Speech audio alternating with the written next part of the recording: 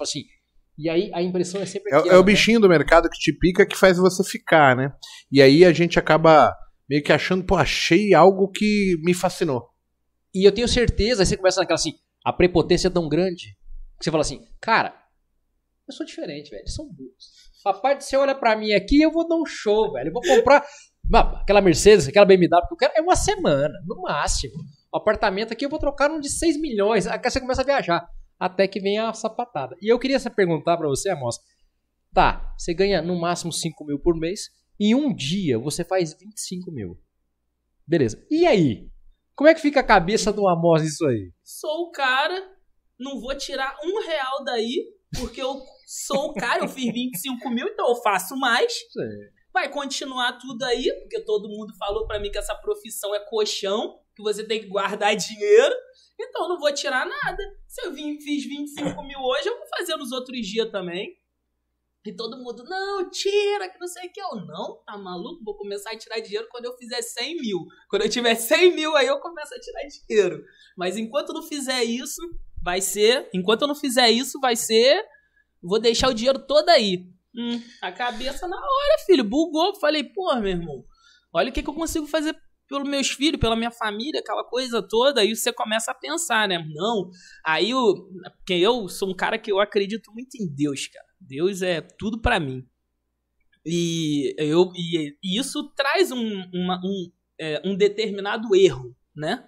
Que a gente começa a pensar assim, poxa, se eu tô pensando em fazer coisas boas para as pessoas, então Deus vai abençoar e eu vou conseguir.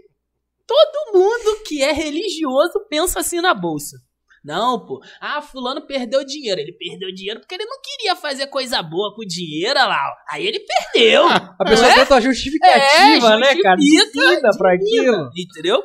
Aí eu fiquei na minha cabeça, não, pô, vai dar certo. Tô aqui com um pensamento legal. Deu certo a primeira vez, né? Vai dar certo. Hum. Aí foi quando começou a vir as porradas.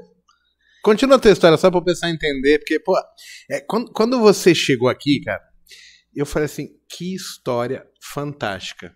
Que personalidade.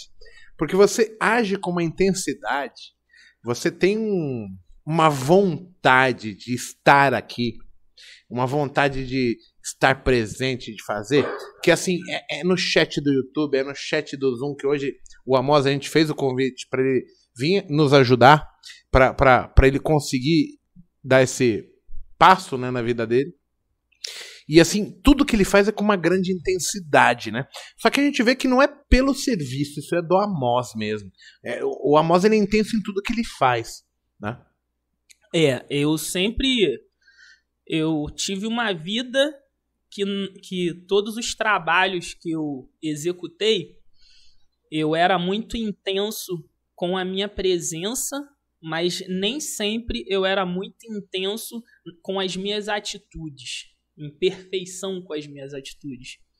E eu sempre ficava com isso muito. batia muito na minha cabeça, porque eu falava: caramba, eu, eu acordo cedo, faço tô, tudo que eu tenho que fazer, corro atrás e eu via que algumas coisas não se encaixavam, né?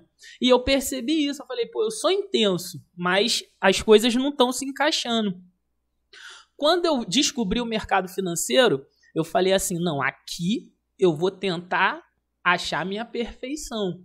Se a perfeição for a minha atitude, então a minha atitude eu vou moldar em cima das informações que eu tiver. Então, assim, quando eu cheguei aqui, eu já tava numa caminhada, né? Eu vi, eu falei, cara, tudo que eu puder fazer aqui, eu vou fazer. Eu vou fazer por, por assim, por amor ao- à profissão, né? E por admiração a você também, né? Que, pô. É, Não, sem babação. depois- sem babação. é, Vai é, começar assim e eu vou pedir tomar outra cerveja. é, aqui, aquela né? coisa, né, cara? Mago, mago tem a história dele, mas o mago é era virtual pra mim. Como é pra muito, muita gente que tá assistindo aí, né? Sim. Mago é virtual. O Hudson é virtual. O Paco, o Monteiro, todo mundo é virtual. Então você tá ali do outro lado da tela, vendo aquilo tudo, vendo a história dos caras, vendo onde os caras chegou, pô, tua história, de onde você saiu, aquela coisa toda, acompanhando o vídeo teu diariamente. Então, quem tá do outro lado, olha, tá olhando para você como se fosse uma criança olhando pro super-herói, cara. Isso é verdade. Tá olhando para você como se fosse um bebezinho, teu filho vendo super-homem, pô. O teu filho, quando ele tá vendo super-homem, ele tá olhando pro super-homem e ele tá assim, caraca, ele voa. Porra, o que, que eu ia conseguir fazer se eu pudesse voar? Saca? O superpoder? Quem tá do outro lado da tela tá olhando para você e tá com isso na cabeça, cara. É engraçado que a gente não tem essa percepção. A gente acha que, que é normal, né? Que, que é só mais uma falácia, um, um bate-papo, uma conversa fiada, uma piada. E, e, e acaba que a gente, quando recebe as pessoas, a gente vê uma intensidade, o quanto isso é importante para elas, às vezes conversar, às vezes poder tirar uma foto. Sim. É muito, rela é, é muito reativo com as pessoas isso. E o Hudson estava até falando isso para mim ontem, como é, as pessoas ficam encantadas. Porque vê muito no digital, cara. Aí o que que acontece? O digital, ele ele ele traz intimidade, né? A gente tá vendo todo dia, né? Tá vendo a mesma pessoa todo dia, tá olhando para aquela pessoa, tá consumindo é, informação, conhecimento daquela pessoa, tá se conectando, né? Com essa pessoa todos os dias, então isso acaba trazendo intimidade. Trouxe intimidade quando a pessoa chegar perto, às vezes a pessoa fala contigo como se ela te conhecesse há muito tempo. Não, é, é, o que acontece aqui, né? É. O cara chega, ele fica olhando assim com a cara, aí eu olho assim, é. como que você chama? Ele não sabe quem que está falando? É. Porque o cara escreve comigo e assim, é. cara, é muitos nomes, às vezes eu não lembro. Uhum.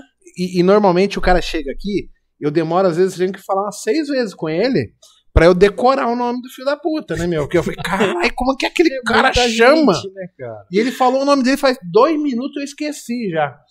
Então, assim, aí a gente vê que, assim, o, a expressão do cara, ele falou assim, cara, ó, meu amigo, tá aqui. Só que eu fico olhando assim e falei, esse cara me conhece, certeza. As pessoas ficam maravilhadas. É, é, é uma